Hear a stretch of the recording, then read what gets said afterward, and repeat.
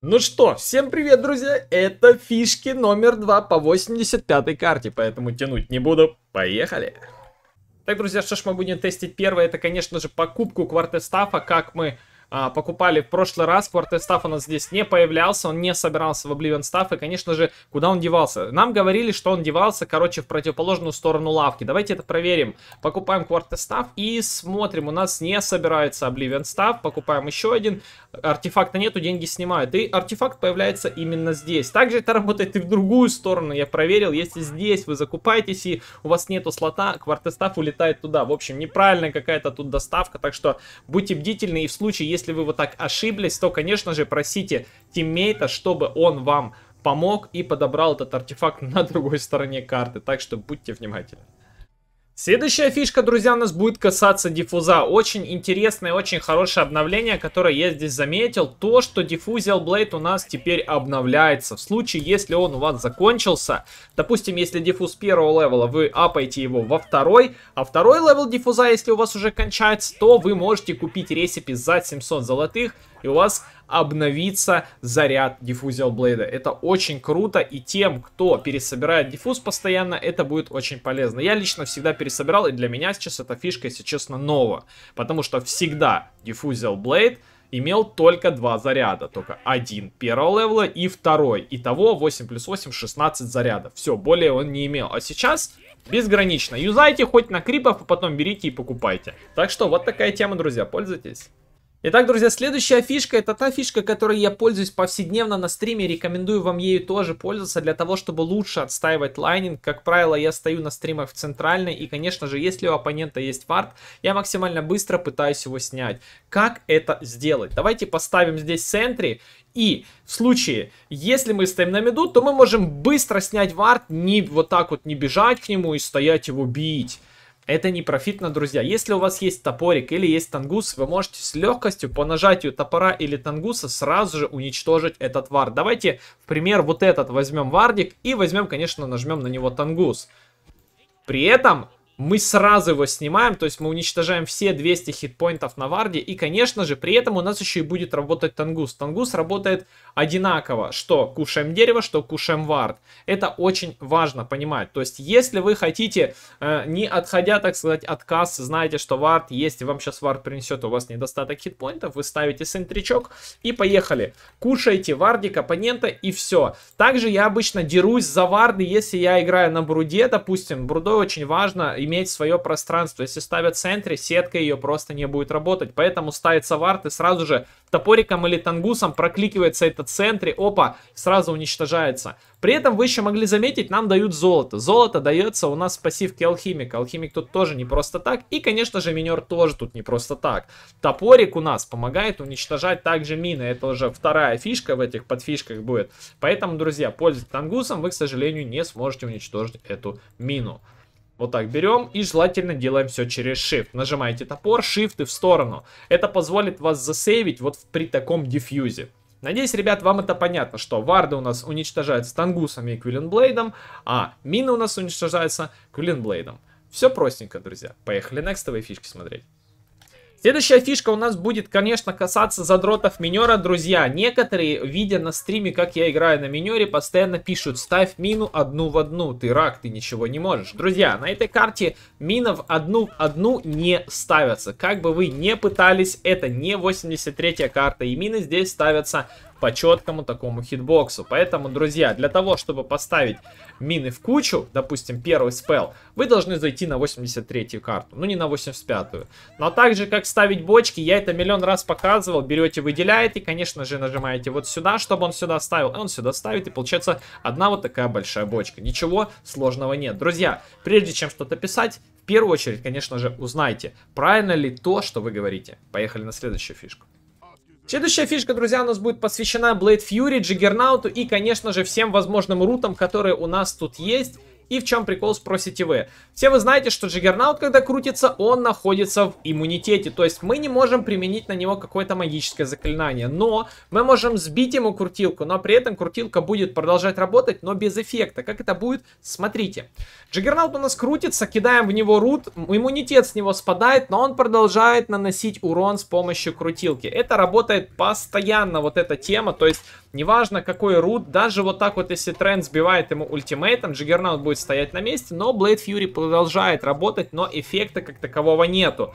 Когда Джиггернаут не крутится, с него слетает магический иммунитет, но damage который идет у нас каждую секунду с Джиггернаута, с Blade Fury, он будет продолжать работать. При этом это также работает и при Аегисе, то есть если Джиггернаут успевает под конец включить крутилку и умирает с Эйгисом. Посмотрите, damage продолжает идти, но эффекта нету. Джиггернаут, по сути, мертвый. Это еще раз подтверждает, что все способности в доте, ну почти все, они привязываются к самому юниту и, конечно же, продолжают работать, несмотря ни на что, как мы тогда Санкинга толкали. Так что вот такая тема, друзья. Если Джиггернаут у вас пытается убежать, киньте в него просто root, и, конечно же, слетит у него магическое сопротивление, и вы сможете спокойно его настигнуть. Но не забывайте, что damage продолжает работать от Джиггернаут. Поехали на следующую фишку.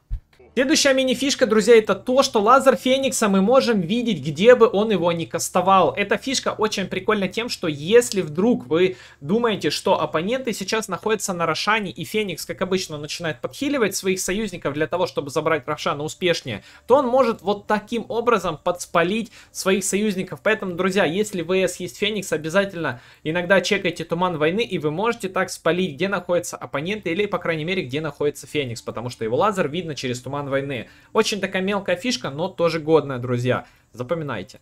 Следующая фишка, друзья, называется Hate Control. Я, к сожалению, не хотел эту фишку вам показывать, потому что есть планы по контенту, вы уже будете полностью догадываться, как это будет у нас все работать. В чем фишка, спросите вы? Для начала нам нужно слить какого-нибудь оппонента и дождаться, конечно же, его респауна. А дальше я вам покажу, что будет происходить. Следующая задача в реализации хейт-контроля, конечно же, должен у нас находиться трал рядом с базой. Можно стоять здесь, можно здесь. И, конечно же, когда оппонент у нас рисается, мы должны нажать на него глимс. И как вы думаете, куда оппонент прилетит? Конечно же, на это же самое место. И тут его уже будут ждать, встречать и, конечно же, будут уже наказывать. Это очень интересная фишка, но, если не ошибаюсь, когда трал делает глимс, тогда его становится видно. Поэтому, друзья, до герочком аккуратненько уходим сюда куда-нибудь, и у нас все хорошо. При этом это можно юзать постоянно. Это очень годная тема. Можно и ночью, и днем, потому что вижена хватает для того, чтобы здесь пристально кликать а, на оппонента, который у нас будет рисаться. При этом нужно такого оппонента, чтобы у него было КД примерно реса 18-20 секунд, чтобы его просто по КД туда отправлять и фармить. Очень прикольная и интересная фишка, друзья. Поехали next. Следующая фишка у нас будет посвящена Нерубиан Ассасину, который находится у нас в закопанном состоянии Тускару и Тинику, конечно. Как можно передвинуть Нерубиан Ассасина, не, э, так сказать, не юзая кнопки на Нерубе? Вы просто берете, либо шариком его передвигаете, либо если Тини видит Нерубиан Ассасина, он может просто его куда-нибудь откинуть. При этом это может быть оппонент, Тини или, в принципе, союзник. Это очень прикольная тема тем, что вот, казалось бы, ну, куча закопана, да, но ее можно передвинуть. Еще такой прикольный эффект, когда кидаешь. так куча просто передвигается. Это довольно-таки забавно. И можно так еще и на немного и подсейвить. Как видите, это все очень прикольно работает, друзья. Следующая фишка, друзья, у нас будет посвящена бесплатному такси, которое у нас будет работать так. Мы берем птичку, залазим в нее на Найксе и, конечно же, мы можем отправлять ее куда, куда угодно. При этом еще и можно Найксом переманить эту самую птичку и, конечно же, лететь туда, куда мы хотим.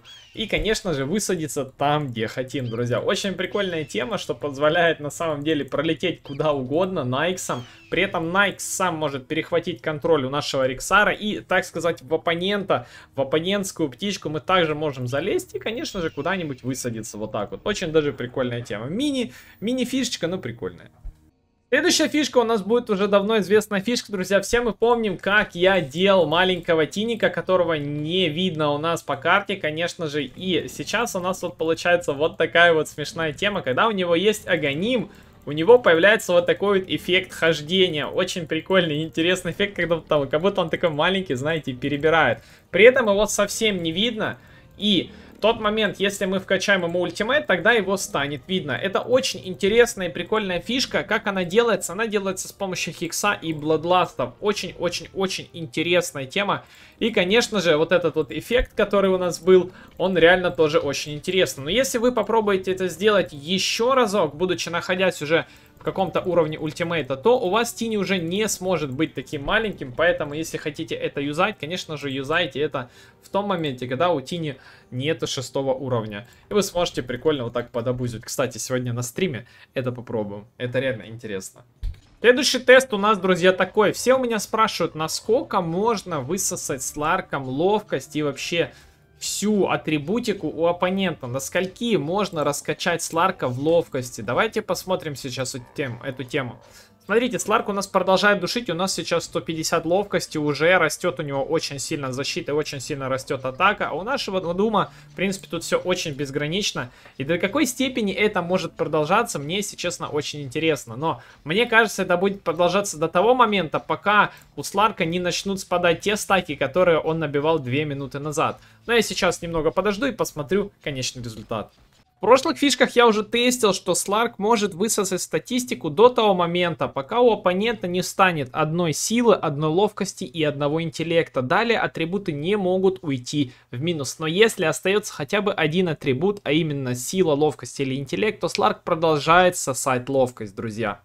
Итак, друзья, прошло уже ровно 2 минуты, и как вы видите, Сларк уже не может набирать ловкость, она сейчас будет постоянно падать, потому что я уже бью 2 минуты, и максимально у меня получилось раскачать ловкость Сларка до 888 единиц примерно, и, конечно же, атака у нас стала почти по 1000 и 124 армора. Ну и сейчас, конечно же, ловкость у нас начнет падать, потому что 2 минуты мы душили. Вот такой вот мини-тест, друзья, для вас, для того, чтобы расслабиться немножко. Ну что ж, поехали далее.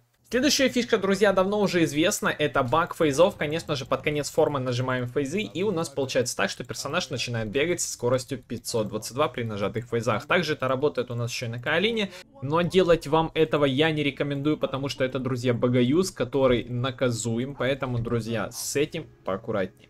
Следующая фишка у нас будет касаться, конечно же, сноубола Тускара. Все вы знаете, что во время сноубола вы находитесь в неуязвимости, когда Тускар находится в сноуболе, он находится в неуязвимости. Также его союзники, которых он берет, они будут также неуязвимы. Но тут есть один прикол. Все вы знаете, что в сноуболе еще также можно переключать артефакты и пользоваться каким-нибудь хилом. Как правило, Тускар опытный, он может юзать во время э, сноубола всю вот эту тему на лохапа и, конечно же, очень сильно досаждать. Но есть способности, которые пробивают эту неуязвимость уязвимость. И давайте их разберем. Первое, что мы будем разбирать, это, конечно же, стан Санд-Кинга. Давайте посмотрим, как это будет работать. Смотрите, допустим, Тускар у нас сюда накатывается, но Санд-Кинг может простанить его вот так вот. Причем а, когда Тускар выходит со snowball а, он находится ее, еще в stun е. Если вы правильно подберете, то можно вот так немного поднасолить. Насчет damage а, конечно, damage тут нужно сейчас проверить. Давайте посмотрим. Допустим, вот Тускар у нас накатывается. И будем вот так вот простанивать. Damage также наносится, как вы видите. Очень важно подгадать тайминг. Конечно, вот такая вот у нас первая тема.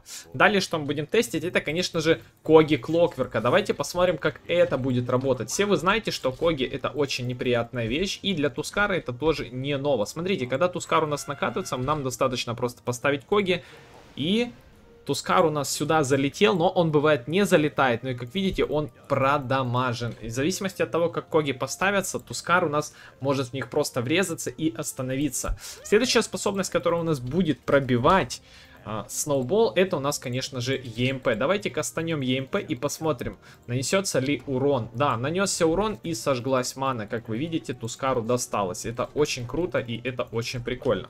Следующая способность, которую мы будем тестить, это, конечно же, Агр Акса. Давайте посмотрим, как это работает. Смотрите, у нас накатывается сюда Snowball, Акс подходит, юзает Агру, и у нас Тускар бежит в агри к нам вот сюда. И это очень прикольно. Ну и крайний герой, которого мы будем сейчас тестить, это, конечно же, Венга со второй способности. Давайте сделаем уже сноубольник и давайте посмотрим, что будет происходить.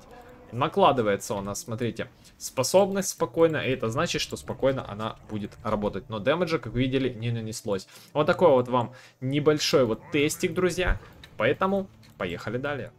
Следующая фишка у нас будет посвящена Ершейкеру, bottle у и, конечно же, double damage у. Если вы берете double damage в bottle правым кликом, просто так, при этом, если у вас, допустим, даже нету зарядов, то у вас берется double damage в bottle и, конечно же, оно еще вешается и сверху, что позволяет вам дополнительно еще на laning е покрипиться немножко. Ну и, конечно же, потом, после того, как оно у вас закончится, можно заюзать еще раз bottle а. Очень прикольная фишка и помогает на начальной стадии, поэтому пользуйтесь. Следующая фишка, друзья, у нас будет посвящена аурам персонажей, а именно ауре Венги, ауре Люкантропа и, конечно же, ауре Волка. Эти ауры стакаются, друзья, и, конечно же, у Венги 36%, у Люкантропа 30% и у обычного Волка 30%. Итого на 96% у вас будет увеличен урон, но у Люкантропа тут еще и немного атак спид будет увеличен, но это ничего страшного. Посмотрите на урон Люкантропа, он на 96% просто увеличен, тупо потому что находится рядом Венга и Волк. И у Волка, смотрите, на 96%. А у Венги немного побольше за счет Траксы. Давайте посмотрим, как у Траксы все улучшится. Смотрите, у нее 72 дэмэджа, сейчас станет 174 просто так. То есть ничего на урон нету у Траксы. И это очень жестко. Поэтому, друзья, если хотите с друзьями потестить эту тему, обязательно берите Венгу, Люкантропа и берите Волка с леса. И посмотрите, насколько высокий будет у вас урон. Интересно, а какой урон будет у Тини? Ведь у Тини родной урон, который привязан, и он будет улучшаться. Итак, друзья, фишки подотки немного у нас отходят в сторону. И сейчас вам расскажу, как бесплатно получить про аккаунт лайтовый, где вы не можете ставить латенс 25, но вы можете видеть лобби абсолютно. Начнем с того, что такое вообще про аккаунт. Про аккаунт это у нас такая вещь, которая позволяет видеть статистику. Вообще, в общем, вот скриншот у нас, вот видеть статистику вот так вот. И что мы тут имеем? Как видите, тут очень много перечислений всяких, что мы можем видеть и какие у нас есть плюшки. Как получить этот про аккаунт, не покупая и не тратя денежки свои, друзья. Играя 85-ю карту, вы будете получать вот такие вот уведомления на сайте. За игру на новой карте у вас есть шанс получить про аккаунт на несколько дней. Вот вам и повезло. Поздравляем, продолжайте играть на новой карте и повышайте свой шанс получить бесплатный про аккаунт. Друзья, играя на 85-й карте, на RU9, на RU5, по-моему, тоже на RU5 можно играть то вы можете стать обладателем легкого про-аккаунта. Конечно же, на изи на несколько дней вам может выпасть про-аккаунт. Поэтому играйте 85-ю, это вам такая мотивация, чтобы играть. Смотрите гайды и, конечно же, кайфуйте, друзья. В общем, на этом все. С вами был Ксеназус и до скорого.